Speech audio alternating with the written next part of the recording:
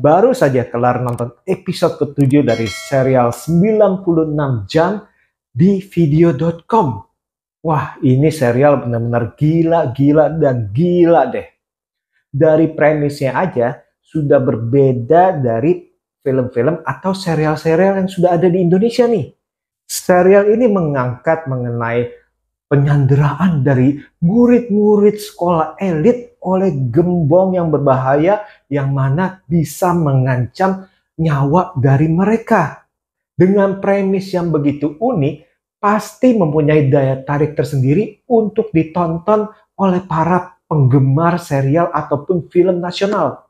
Di sini ada dramanya, mulai dari persahabatan, konflik, intrik-intrik, sampai ke pengkhianatan ditambah dengan misteri yang begitu apik dibalut sehingga kita akan mencoba mencari tahu siapa nih dalang di balik penculikan ini atau apa sih motivasinya.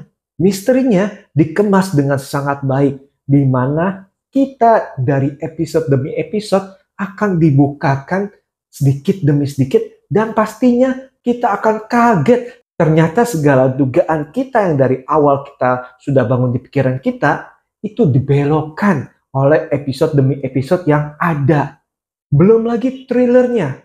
Ini benar-benar memacu jantung kita sih karena kita tidak tahu ataupun kita akan mengira-ngira bahkan kita akan merasa was-was apa nih yang akan terjadi terhadap tiap karakter yang ada di dalam serial ini.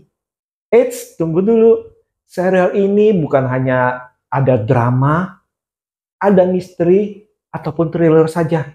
Tapi tentunya tema penyanderaan tidak lengkap tanpa adanya aksi. Dan aksi di serial ini dibuat tidak kaleng-kaleng atau tidak ngasal. Mau mulai dari apa? Mulai adu jotos, tangan kosong. Terus mulai dari tembak-tembakan. Sampai keledakannya itu dibuat begitu wah bahkan bisa dibandingkan dengan film layar lebar.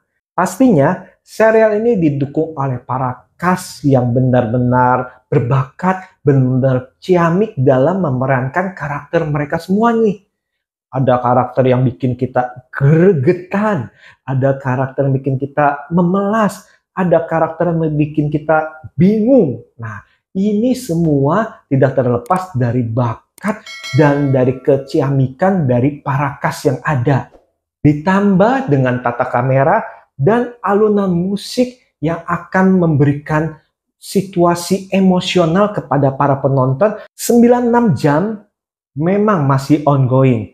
Dan itulah sebabnya nggak usah nunggu-nunggu lama lagi, langsung aja nonton maraton binge watching yang ada di video.com. Oke deh, saya rasa sekian dulu untuk episode kali ini. Jangan lupa untuk subscribe, follow, dan tekan tombol notifikasi agar kalian tidak ketinggalan dengan review-review kami selanjutnya. See you!